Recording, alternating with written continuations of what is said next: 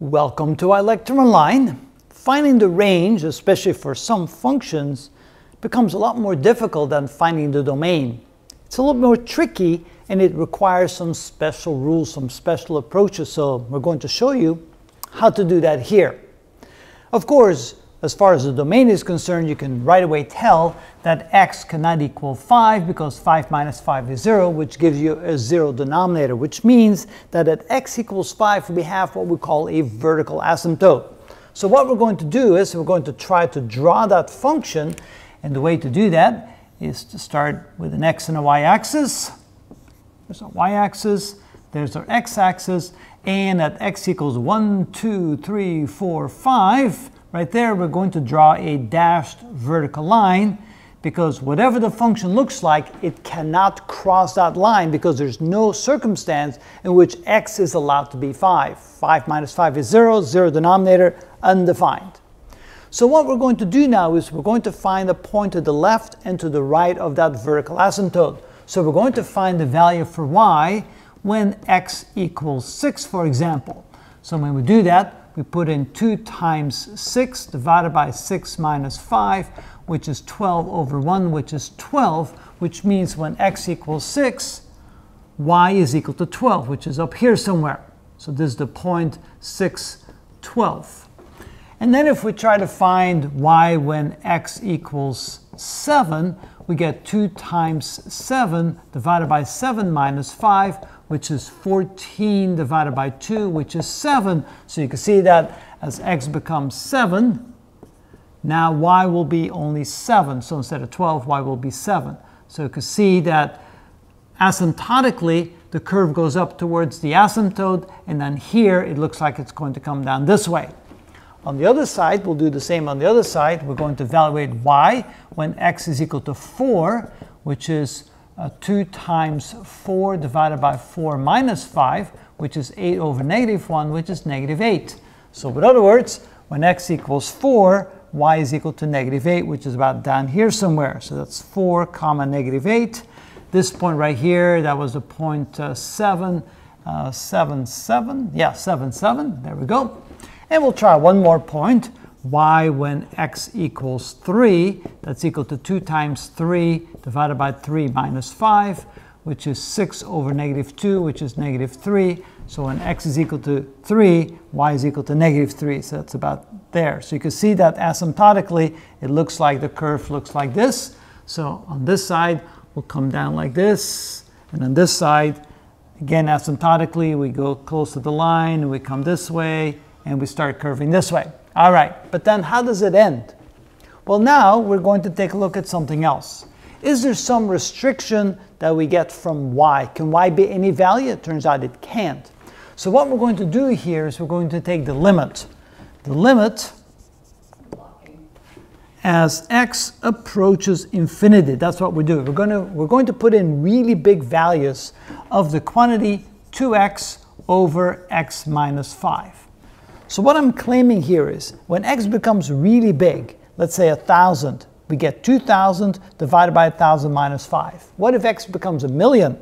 2 million divided by million minus 5. How about a billion? 2 billion divided by billion minus 5. That minus 5 becomes less and less significant, and in the end, it's almost completely insignificant. So in other words, this can be said to be the limit as x becomes infinitely big that will then be 2x over x. We can simply forget about the 5. It's like the 5 isn't there. I think you should be able, you should write that out, what you just said about insignificant, you know, 2, 2 billion over a billion minus. You want me to show you graphic? Okay, so yeah, so let's try. Graphically, just write it out. Yeah, I'll write it out. So let's try that. So let x equal a 1,000. Then the function becomes then y is equal to 2 times a 1,000 divided by a 1,000 minus 5. And so that would be 2,000 over, that would be 2,000 over 995, which is about equal to 2. And then if we let x equal a million, we get y is equal to 2 times a million divided by a million minus 5, which is 2 million, divided by 1,995,000, oh, 999,995, which means that this is just about equal to 2. The bigger x becomes, the closer that fraction becomes equal to 2. So essentially, when we write the limit as x goes to infinity of 2x over x minus 5, we can say that's equal to the limit of x going to infinity of 2x divided by x, and then the x's cancel, and then we realize in the limit that's equal to 2. As x becomes really big in one direction, we can also, of course, make x a negative big number, and we get the same result. In other words, no matter what we do, in the end, y will be equal to 2 only when x becomes infinitely large, which means that we have another asymptote, a horizontal asymptote, at y equals 2.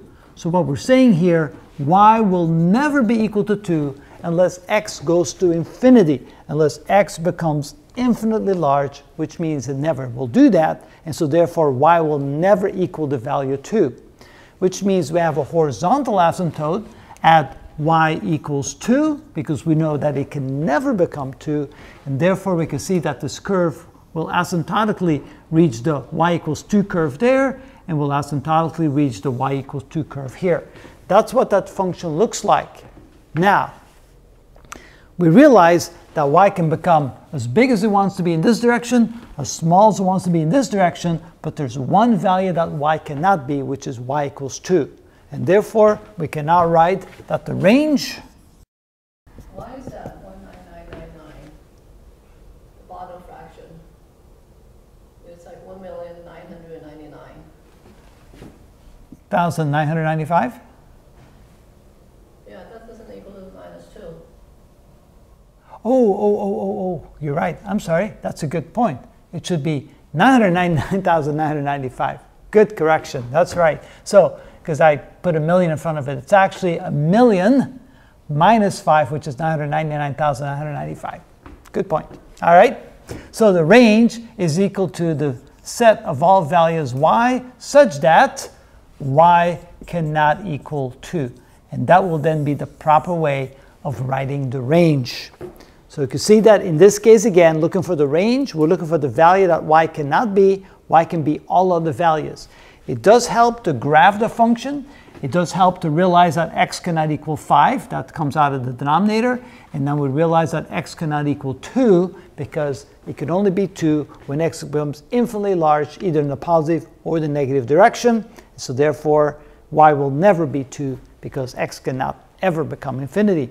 And that is how it's done. Are you going to do some problem that's range and domain? Yes, I will do an example where we do range and domain. Because you already said what the domain shouldn't be. Well, and a lot of times when you find the range and domain, you're actually finding what the range and domain cannot be. Yeah. And then you put the exceptions in. Yeah, that's how it works. Yeah, we'll do that.